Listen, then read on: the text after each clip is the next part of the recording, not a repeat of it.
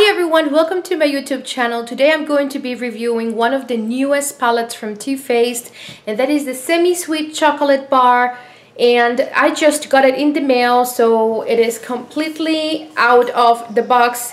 Just worked with it a little bit and um, tried a couple of shades to see how the performance were but that it's pretty much about it so far so it's a little bit of a first impressions and swatches for now. So this is the box that it comes in. As you see, it's very similar to the original one that resembles a chocolate bar wrapping. On the back, you have all the information on the palette, the colors, and the names. And they also included the hashtag if you want to uh, hashtag them on Instagram or Twitter, which is TF Semi Sweet.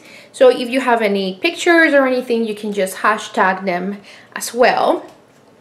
This uh, semi-sweet chocolate bar claims to have real cocoa as well as the regular one as, as the original one and it also claims to have antioxidants and things that are really good for your skin so you're also treating your skin up to uh, a good treatment. Now to the palette, this is the palette that they have created. It's very similar to the original one. I think that the color is a little bit lighter and it's also a little bit thinner, slimmer. And uh, I would say that the amount of product is pretty much the same, so that didn't change. And also the layout of the eyeshadows is pretty much the same. If you know what I mean, they have the same amount of eyeshadows and they also included two large highlighters that you tend to run out very very fast so that's always good to have uh, plenty of them. Another change that I noticed from the original one is that this time they actually included the names on the palette. The first one had a plastic film with names and that wasn't very handy so this is highly highly appreciated they also have the uh, little booklet where they find, uh, you know, step-by-step -step guides to put some looks and also the mirror that is basically the same size as the original one. So if you were to compare it say side by side, I would say that they're pretty much the same size, but they are different in width. So the uh, semi-sweet is a little bit thinner. Now another thing is that they didn't really include any dupes. All the colors in this palette are completely new, so you won't find the same colors in the original chocolate palette, so they're all new. I would like to do some swatches for you guys so you can actually hear my thoughts and uh, what each color could be used for. So the first color that we have is licorice and licorice is basically a matte black and this matte black is very very very black. It's very nice to have such a nice black. I don't think they had included a black in the first palette at all. Then you have this coconut cream which is one of the biggest colors for highlighting and it is basically a matte cream color. And it looks a little bit sheer on my skin but I use it as a highlighter for my brow bone and it worked just fine so it is actually pigmented for a light shade. Then you have Nougat, and Nougat is also a light color. This is kind of um, taupe-ish kind of color. Then you have Truffled, and Truffled is actually a matte brown. If I were to compare this color to anything, I would compare it to uh, cocoa powder actually. Looks very similar to cocoa powder. Now to the last one, it's called Hot Fudge. And Hot Fudge is a shimmery berry dark brown. I don't think it has sparkles, but it's so shimmery that it almost makes you think that it has sparkles, but it doesn't. It's just very shimmery. It's a very nice shimmery dark, dark brown. Now to the second row, we're starting with chocolate, with cocoa chili. And cocoa chili is that very nice brown that has gold sparkles and I'm really hoping that my camera catches that up. So if you see when I move it, you see the sparkles showing up. It has gold sparkles. Then we have Pink Sugar, and Pink Sugar is a different kind of eyeshadow. It's completely sheer, so I really hope this is picked up by my camera.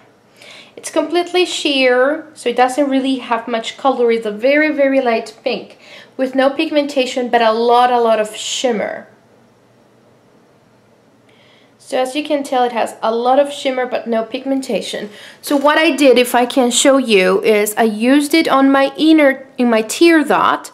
I used a little bit of a MAC fix and, or you can use water if you want. Just make sure you don't water the pan so you get some of the color, then you use a little bit of liquid and then you use it wet. That will give you the most payoff of the color and it's actually an amazing top coat to make something very shimmery or sparkly. So that's kind of a effect kind of shadow. Next we have pudding and pudding is also a matte brown but this is kind of a taupey brown. It's not actually a true cocoa kind of brown.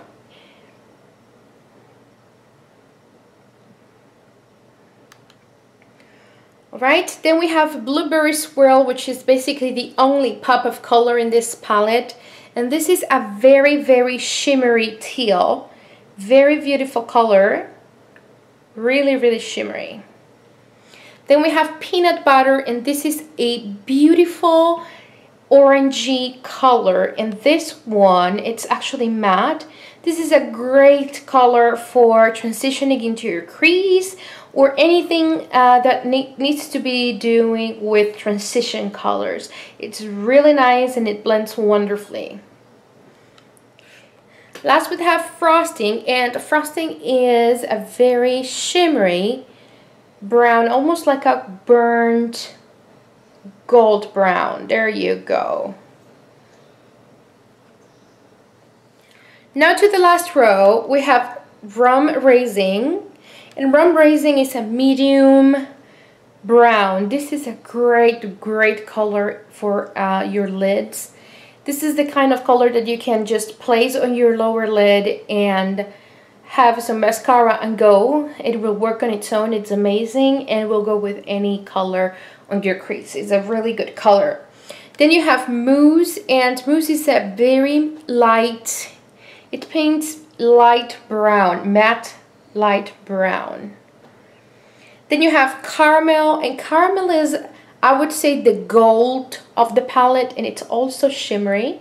It's a very nice orangey gold color.